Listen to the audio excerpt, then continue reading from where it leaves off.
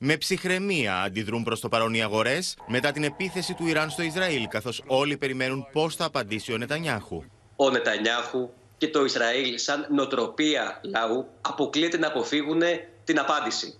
Κατά τη δική μου προσωπική εκτίμηση, ε, θα υπάρξει απάντηση. Το ζήτημα είναι αν θα υπάρξει μια απάντηση έντονη, αντιστοίχου βεληνικούς και ισχύως, ή θα υπάρξει μια πιο στοχευμένη απάντηση.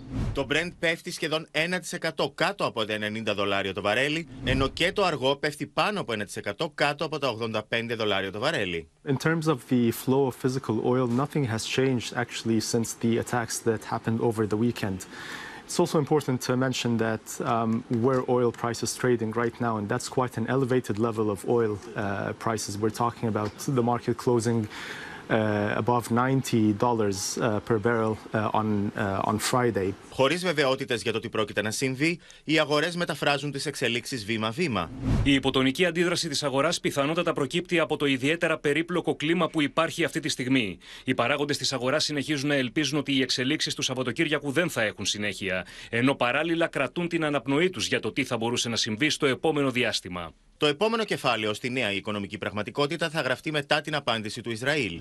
Το παγκόσμιο ενδιαφέρον εστιάζεται ξανά στα στενά του ορμούς, τα οποία ελέγχει το Ιράν. Αν η ένταση κλιμακωθεί και επηρεαστεί η διέλευση των τάνκερ, εκτιμάται ότι θα αυξηθούν τόσο το ασφάλιστρο κινδύνου όσο και οι τιμές του μαύρου χρυσού. Καθώς από εκεί διεξάγεται το 1 πέμπτο του παγκόσμιου εμπορίου πετρελαίου.